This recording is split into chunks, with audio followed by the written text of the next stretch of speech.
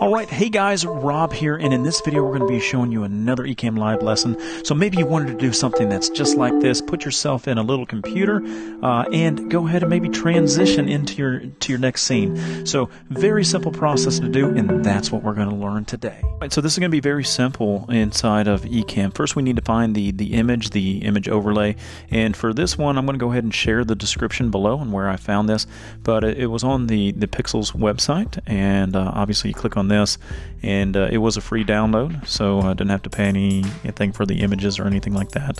Uh, went ahead and clicked on the free download there and then we're going to need to open up that image inside some sort of image editor uh, because we do need to make sure that this is a, a PNG file. So uh, for that let's go ahead and go into my uh, photo editor here and it's just going to be the standard one that we see on the, the Mac. Here we are in the, the previewer uh, for this. Uh, here's the image. And what I found best in, in, order to make overlays, especially if you're going to be doing widescreen, is uh, you're, you're, going to want to make sure that the the size that we're going to be using is 1920 by 1080. It just seems to, to work a lot better inside of uh, the Ecamm software.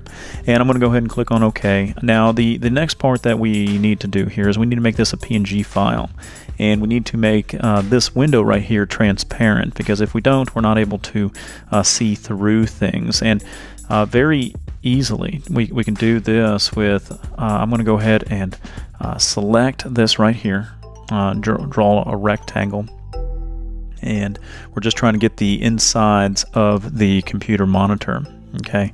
That's why when we're looking for an image online it's always best to have one that's uh, forward facing you know front facing computer there. And all we really have to do is hit the hit the delete button on on the Mac. So we're hit the delete button and it says convert this image to a PNG it's going to do it for you automatically. Click on the convert button and now you can see it's grayed out right here and that's going to be beautiful once we import this into uh, you know Ecamm Live. So we'll go ahead and show you that here right now. All right, so now that we are in uh, Ecamm Live, now it's time to go ahead and, and set up the scene. Uh, so that we can we can do things properly here. Uh, I'm going to go ahead and click on the plus button, create my new scene, and I'm going to go ahead and click on this button right here, the share screen. Okay, and that would allow me to have uh, a miniaturized picture-in-picture that I can move around anywhere. Uh, otherwise, we wouldn't have any kind of picture-in-picture -picture to to make the size of that screen.